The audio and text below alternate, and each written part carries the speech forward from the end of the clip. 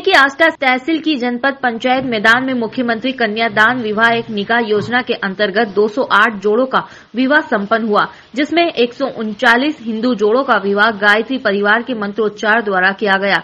तो वहीं छह जोड़ों का निकाह काजी के द्वारा संपन्न करवाया गया। कार्यक्रम में मौजूद अतिथियों ने सभी नवनिर्वाहित जोड़ों को आशीर्वाद दिया। साथ ही उन्होंने मध्य प्रदेश में कांग्रेस की सरकार बनते ही सभी जोड़ों को इक्यावन हज़ार की राशि लागू करने की बात कही।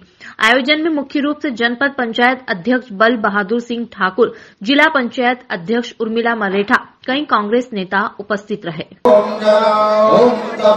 ओम सत्यम ओम